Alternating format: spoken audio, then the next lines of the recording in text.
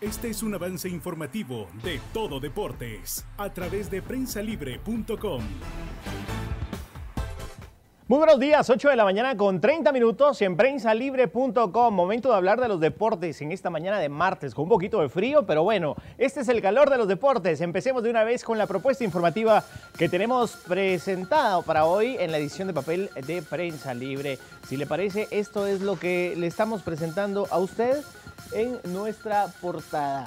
Eh, Marco Ciani da otro traspié. Esa es la, portada que, que, le presentamos hoy. Lamentable accidente donde se ve involucrado Marco Ciani. Y en la columna lateral del lado derecho, el lamentable suicidio de Edgar Och, el ciclista quetzalteco, pues que se suicidó ayer y en el fútbol internacional, Iker Casillas, capitán de la selección española y actual portero del Oporto de Portugal, ha recibido hoy en el Palacio de la Moncloa, de manos de Mariano Rajoy, presidente del gobierno, la Gran Cruz de la Real Orden del Mérito Deportivo, que dedicó especialmente a su esposa Sara Carbonero y a su hijo Martín. Se trata de la máxima condecoración a título individual en el mundo del deporte que concede el gobierno español por medio del Consejo Superior de Deportes.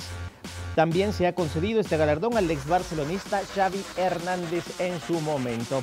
Y el defensa francés de Liverpool, Mamadou Sakho, estará entre 6 y 8 semanas de baja después de sufrir el pasado domingo en la derrota en casa 1-2 ante el Crystal Palace una lesión en la rodilla derecha. Este es el momento preciso donde se lesiona el jugador. Saco de 25 años se retiró lesionado en el duelo ante los Eagles, disputado en el estadio de Anfield y en el club determinó en su primer momento que hubiera sufrido una rotura de ligamento cruzado en la rodilla, lo que le habría apartado de los terrenos durante seis meses. Afortunadamente, entre lo malo lo bueno, es que la lesión no le apartará, pues por lo menos los seis meses, sino que será unos cuatro. Y el deporte internacional está de luto. Fíjese que el triatleta francés Laurent Vidal, quinto en los Juegos Olímpicos de Londres 2012, murió de un paro cardíaco la pasada noche en su domicilio en Gillian, cerca de Montpellier, al sur de Francia, un año después de sufrir una arritmia que le produjo un coma y le apartó de la competencia.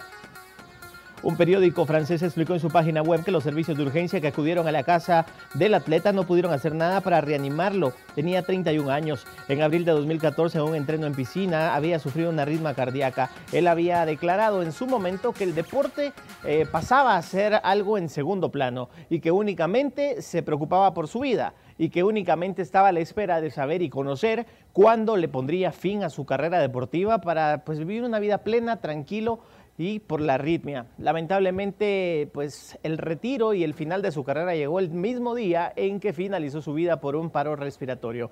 Soy Milton Meléndez, les deseo muy buenos días.